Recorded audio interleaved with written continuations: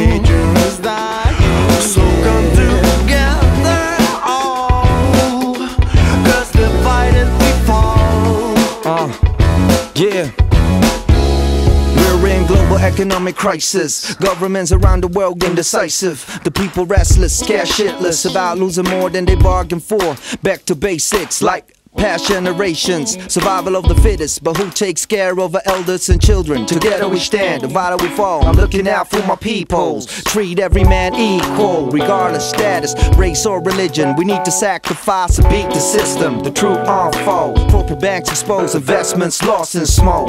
We got families in chokeholds and no scapegoat. We all in this predicament, and no one is innocent. Wish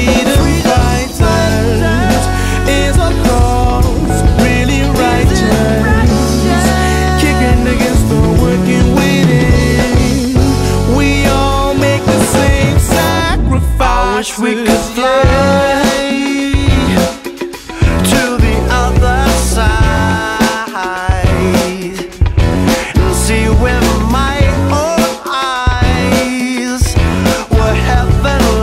looks. What heaven looks like Cause the world is burning world is burning and my nature is dying. So come together all, cause they're we fall.